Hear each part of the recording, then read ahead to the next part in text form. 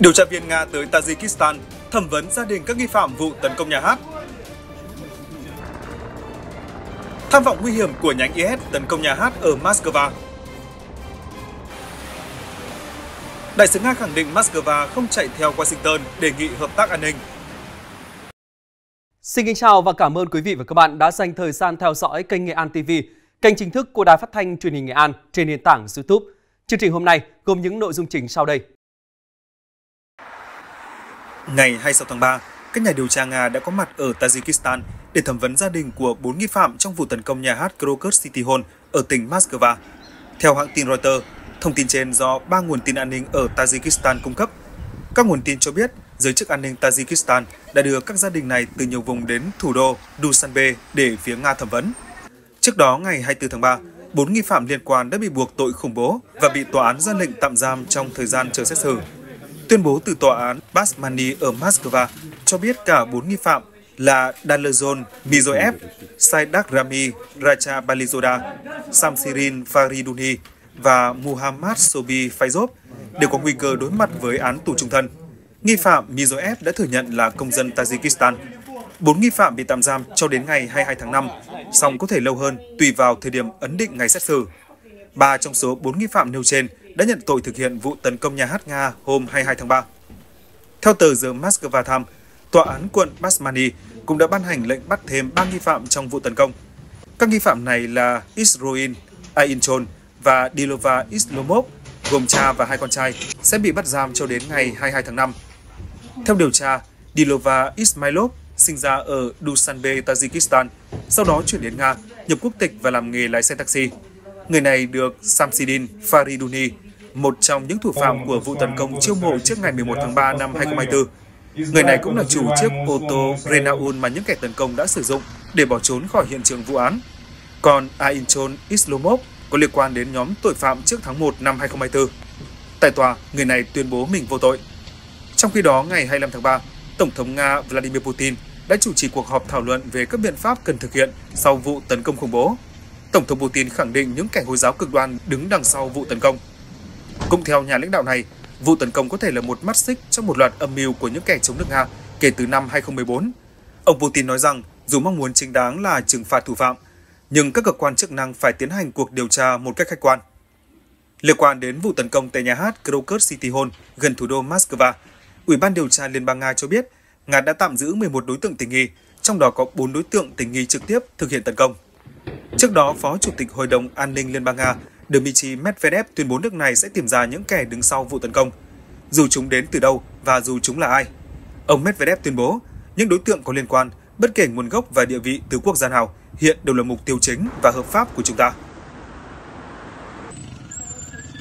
ISISK là nhà nước Hồi giáo ở Khorasan hiện đang hoạt động ở Afghanistan, Pakistan và Iran, nhưng đã nhắm tới châu Âu và xa hơn nữa.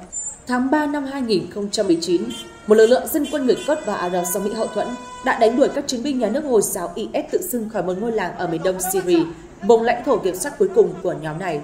Kể từ đó, tổ chức từng thành lập một vương quốc tự xưng trên khắp Iraq và Syria đã di căn thành một nhóm khủng bố truyền thống hơn. Một mạng lưới các mắt xích bí mật từ Tây Phi đến Đông Nam Á tham gia vào các cuộc tấn công du kích, đánh bom và ám sát có chủ đích. Không có chi nhánh nào của IS hoạt động không ngừng nghỉ như nhà nước Hồi giáo ở Khorasan, IS-ISK, hoạt động ở Afghanistan, Pakistan, Iran. Nhóm này đã đặt mục tiêu tấn công châu Âu và hơn thế nữa. Các quan chức Mỹ cho biết, nhóm này đã thực hiện vụ tấn công gần Moscow hôm 22 tháng 3. Hồi tháng 1 năm nay, ISISK đã thực hiện vụ đánh bom kép ở Iran, khiến nhiều người thương vong tại lễ tưởng niệm cựu tướng hàng đầu của Iran, Qasim Soleimani, người đã bị máy bay không người lái UAV của Mỹ sát hại 4 năm trước đó. Mới đây khi phát biểu trước một ủy ban thượng viện, Giám đốc tình báo quốc gia Mỹ bà Andrew Haynes đã nói rằng mối đe dọa từ IS vẫn là mối lo ngại đáng kể về chống khủng bố. Hầu hết các cuộc tấn công do IS thực hiện trên toàn cầu đều thực sự xảy ra ngoài Afghanistan, bên ngoài lãnh địa của IS. Hôm 21 tháng 3, người đứng đầu Bộ Tư lệnh Trung tâm của quân đội Mỹ, tướng Michael E. Kurilla cũng phát biểu với một ủy ban hạ viện rằng IS-ISK vẫn duy trì khả năng và ý chí tấn công các lợi ích của Mỹ và phương Tây ở nước ngoài trong vòng chỉ 6 tháng mà không có hoặc rất ít cảnh báo. Hôm 24 tháng 3, các chuyên gia chống khủng bố của Mỹ đã bác bỏ nghi vấn của Điện Kremlin rằng Ukraine đứng sau vụ tấn công nhà hát Krokus City Hall. Một học giả về chủ nghĩa khủng bố tại Hội đồng quan hệ đối ngoại Brook Hoffman cho biết, phương thức hoạt động trong vụ tấn công ở Moscow là kiểu cổ điển của ISIS.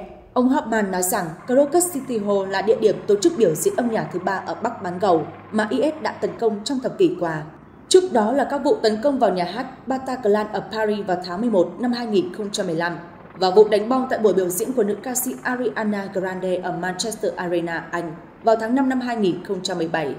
ISISK được thành lập vào năm 2015 bởi các thành viên bất mãn của Taliban tại Pakistan đã phát triển bùng nổ sau khi Taliban lật đổ chính phủ Afghanistan vào năm 2021.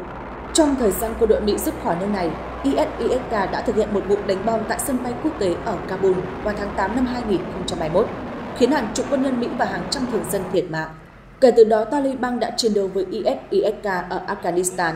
Theo các quan chức chống khủng bố của Mỹ, cho đến nay, các cơ quan an ninh của Taliban đã ngăn chặn nhóm này chiếm giữ lãnh thổ hoặc tuyển mộ số lượng lớn các cựu chiến binh Taliban.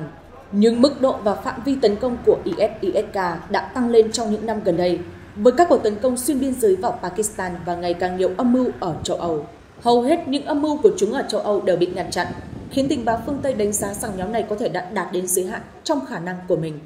Đến ngày 31 tháng 12 năm 2023, ba người đàn ông đã bị bắt tại bang North Rhine-Westphalia của Đức vì bị cáo buộc có kế hoạch tấn công nhà thờ Karlakle. Các cuộc đột kích có liên quan đến ba vụ bắt sự khác ở Áo và một vụ ở Đức vào ngày 24 tháng 12 cùng năm. Bốn người này đã bị bắt giữ, được cho là hành động ủng hộ ISISK. Các quan chức chống khủng bố của Mỹ và các nước phương Tây khác cho biết, những âm mưu này được tổ chức bởi các phần tử cấp thấp. Chúng bị phát hiện và ngăn chặn tương đối nhanh chóng. Cuối năm ngoái, phát biểu tại một ủy ban hạ viện Mỹ, người đứng đầu Trung tâm chống khủng bố quốc gia Christine S. Abisai nói, cho đến nay, ISISK chủ yếu dựa vào các thành viên thiếu kinh nghiệm ở châu Âu để tìm cách thúc đẩy các cuộc tấn công dưới danh nghĩa của chúng. Nhưng có những dấu hiệu đáng lo ngại cho thấy ISISK đang rút được kinh nghiệm từ những sai lầm của mình. Tháng 1 năm nay, những kẻ tấn công đeo mặt nạ đã tấn công một nhà thờ công giáo La Mã ở Istanbul. Ngay sau đó, IS đã nhận trách nhiệm.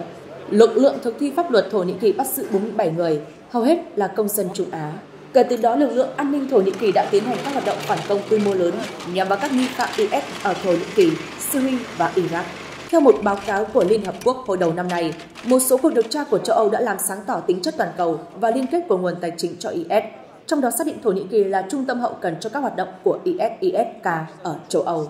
Các quan chức chống khủng bố cho biết, các cuộc tấn công ở thủ đô Moscow và Iran thể hiện sự tinh vi hơn, cho thấy mức độ lập kế hoạch cao hơn và khả năng khai thác các mạng lưới cực đoan địa phương.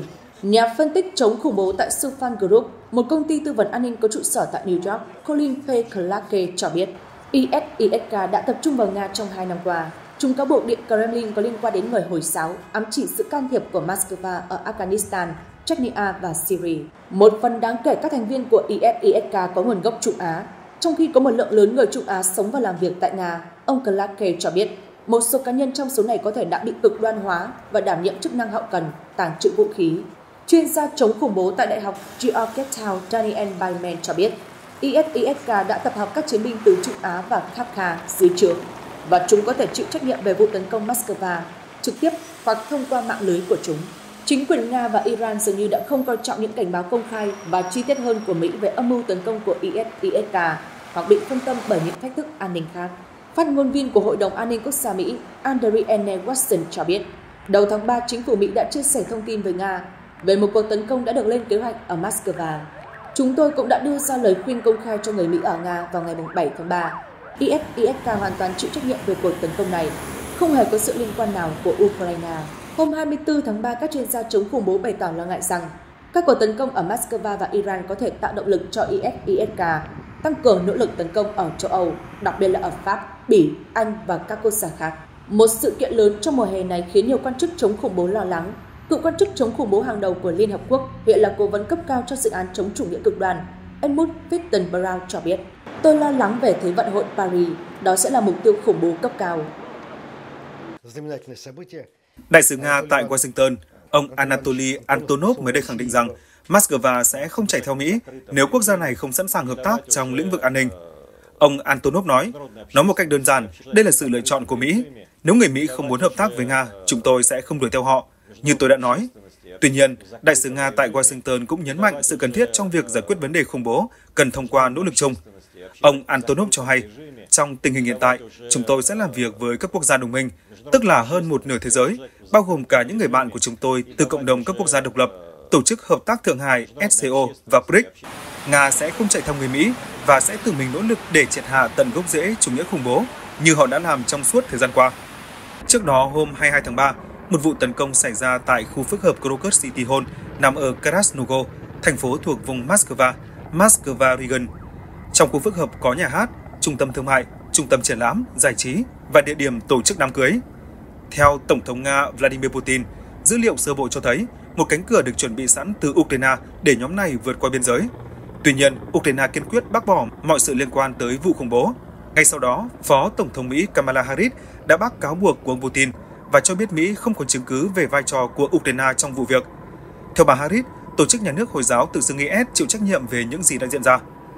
Trong một diễn biến khác, thư ký báo chí Nhà Trắng Karine Jean-Pierre cho biết Mỹ lên án mạnh mẽ vụ tấn công ở Moscow và gửi lời chia buồn sâu sắc tới gia đình các nạn nhân và những người bị thương. Hiện tại, bốn nghi phạm liên quan trực tiếp vụ tấn công nhà hát Krokus City Hall đã bị đưa ra trình diện tại tòa án ngày 24 tháng 3. Các đối tượng này đối mặt các cáo buộc liên quan đến khủng bố và sẽ lĩnh án trung thân nếu bị kết tội.